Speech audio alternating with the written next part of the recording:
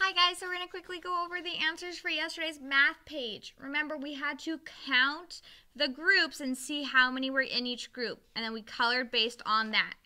So the first one I have here is I have one, two, three, four hearts. So I found the number four, and it was red. So I colored my hearts in red.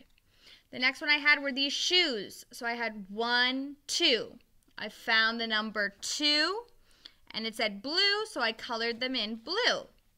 Then here I have stars. I have one, two, three, four, five stars. So I went and found the number five, so that's my number five.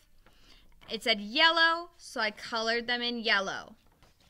Then I come here to my little bears. I had one, two, three. So I find the number three, and it is brown. So I colored them in brown.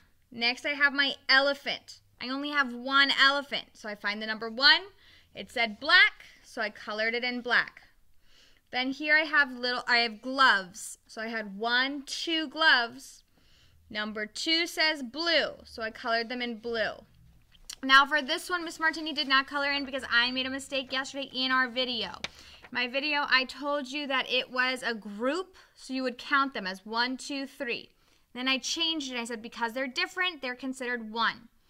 So if you colored it in black because it was the number one, that's okay.